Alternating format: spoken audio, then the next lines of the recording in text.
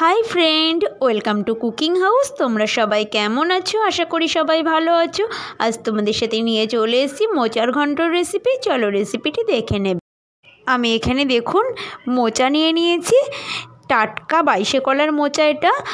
আমি এই মোচাটা দিয়ে আজকে মোচার ঘন্ট রান্না করব। চলুন ভিডিওটা প্রথম থেকে শেষ পর্যন্ত দেখে নেবেন। এই যে আমি মোচাটাকে ছাড়িয়ে নিচ্ছি। এর মধ্যে এরকম সরু একটা কাঠি থাকে। এইটাকে ফেলে ফেলে ছাড়িয়ে নিচ্ছি আমি। এটাকে ফেলে ফেলে আমি সমস্ত মোচাটাকে ছাড়িয়ে নেব এইভাবে। আমি সমস্ত মোচাটাকে ছাড়িয়ে ফিরে আসছি। এই যে আমি এখানে সমস্ত মোচাগুলোকে ছাড়িয়ে নিয়েছি এইভাবে, আর এই যে এখানে একদম কচিটা রেখে দিয়েছি, এটাকে আমি ঝিরিঝিরি করে কুচিয়ে নেব। এটাকে আর ছাড়াতে হবে না আলাদা করে। মোচাটাকে আমি কুচিয়ে নিচ্ছি। কুচিয়ে কুচিয়ে মোচাটাকে জলে রাখছি। মোচাটা কুচিয়ে জলেই কিন্তু ভেজাবেন না হলে কিন্তু কালো হয়ে যাবে মোচাটা। এইভাবে ঝিরিঝিরি করে সমস্ত মোচাটাকে আমি কুচিয়ে নেব। আর মোচাটা কাটার সময় খেয়াল রাখবেন যেন মোচাটা বাইশে কলার মোচাই হয়। কাঁচকলার মোচা হলে কিন্তু তরকারিটা খেতে ভালো লাগবে না, তেতো লাগবে। আমার এটা বাইশে কলার মোচা। এই যে আমি এখানে সমস্ত মোচাটাকে এরম ঝিরিঝিরি করে কুচিয়ে নিয়েছি। এখানে আমি আলু কেটে নিয়েছি, এরকম ছোট ছোট সাইজ করে কেটে নিয়েছি, গোল গোল করে। আলুটাকে কেটে পরিষ্কার করে ধুয়ে নিয়েছি। আমি কিছু ছোলা ভিজিয়ে রেখেছি জলের মধ্যে। আগের থেকেই আমি প্রায় দশ কুড়ি মিনিট মতো ভিজিয়ে রেখেছি ছোলাগুলোকে। আমি রান্নাটি শুরু করব, চলুন দেখে নেবেন।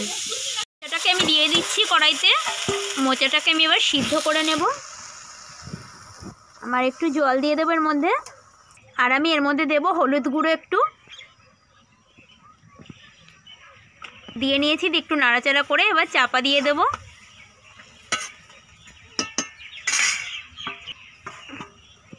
এবার আমি মোচাটাকে সিদ্ধ করে নেব দশ পনেরো মিনিট মতো।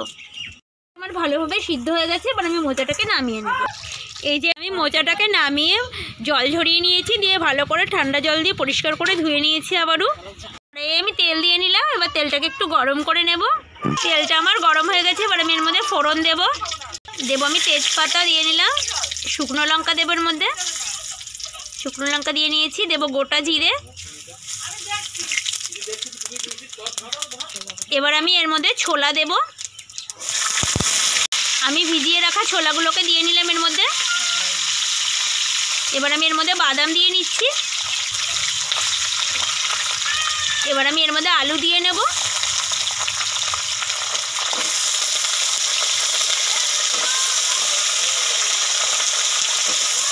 ছোলা বাদামগুলোকে আমি হালকা করে ভেজে নিয়েছি, তারপরেই আলুগুলো দিচ্ছি। এবার আমি এর মধ্যে লবণ হলুদ দিয়ে নিচ্ছি। হলুদ গুঁড়ো দিয়ে নিলাম পরিমাণ মতো। লবণ দিয়ে নিলাম পরিমাণ মতো। এবার সব কিছু নাড়াচাড়া করে একসাথে মিশিয়ে নেব।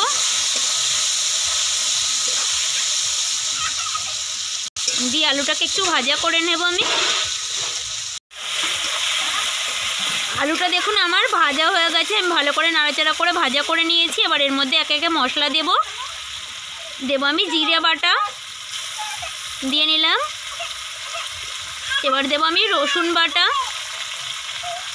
দেব আদা বাটা, কাঁচা লঙ্কা বাটা দিলাম আমি। সমস্ত মশলা দিয়ে আবারও নাড়াচাড়া করে কষিয়ে নেব আমি আলুটার সাথে।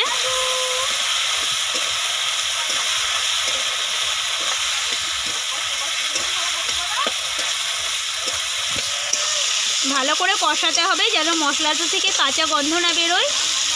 যত ভালো করে কষাবেন, তত ভালো লাগবে খেতে। ভালোভাবে কষানো হয়ে গেছে আলুটার সাথে মশলাটা। এবার আমি এর মধ্যে মোচাগুলোকে দিয়ে দেব।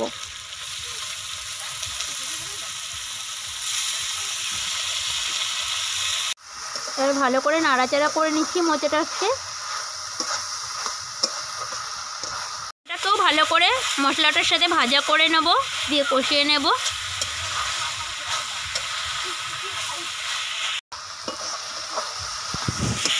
তরকারিটা আমার ভালোভাবে কষানো হয়ে গেছে।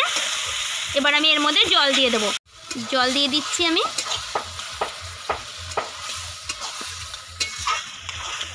খুব বেশি জল লাগবে না, যেহেতু মোচাটা আগের থেকেই ভালো করে সিদ্ধ করা।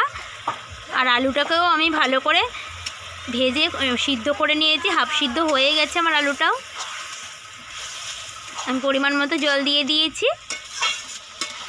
এবার আমি তরকারিটাকে পাঁচ দশ মিনিট মতো রান্না করে নেব। এর মধ্যে একটু মিষ্টি দিয়ে নেব সামান্য। মিষ্টি দিয়ে নিয়েছি। দিয়ে আবারও নাড়াচাড়া করে নেব মিষ্টিটা দিয়ে।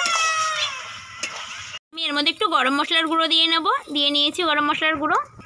একটু নাড়াচাড়া করে নেব। নাড়াচাড়া করে নিচ্ছি।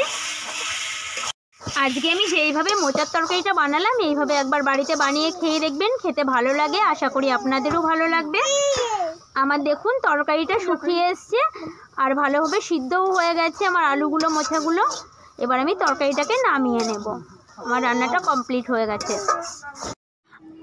আজকে আমার মোচার ঘন্টর রেসিপিটি তোমাদের কেমন লাগল সেটি কমেন্ট করে জানাবে। ভালো লাগলে একটা লাইক করবে, সাথে সাথে আমার ভিডিওটাকে অনেক অনেক শেয়ার করবে। এইভাবে নিত্য নতুন রেসিপি পেতে আমার চ্যানেলটিকে সাবস্ক্রাইব করে আমার পাশে থাকবে। আজকের মতো ভিডিওটাকে এখানেই শেষ করছি। সবাই খুব খুব ভালো থাকবে, সুস্থ থাকবে। দেখা হবে আবার পরবর্তী ভিডিওতে। ভিডিওটা দেখার জন্য অনেক অনেক ধন্যবাদ।